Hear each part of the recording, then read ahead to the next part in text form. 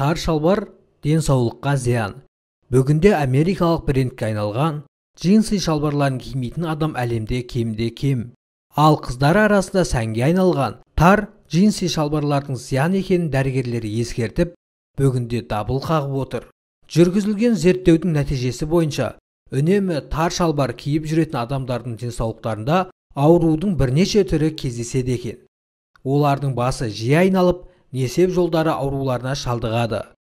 Вашингтон дәрігері карен бойлдың айтуынша тар шалбарлар неврит ауруына жүйкенің қабынуы мен жамбас тамырларының қысылуына әкеліп соғады. Невритке шалдыққан адамның жамбасында шаншу пайда болып аяғы жиі ұйып қала беретін болады.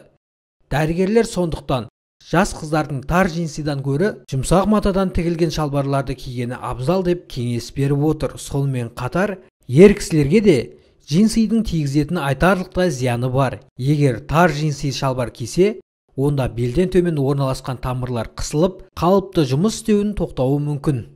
Бұл өз кезегінде жыныс мүшесінің түрлі ауруларына соқтырады. Сондықтан ер азаматтарға да тар емес еркін шалбар киюі керек.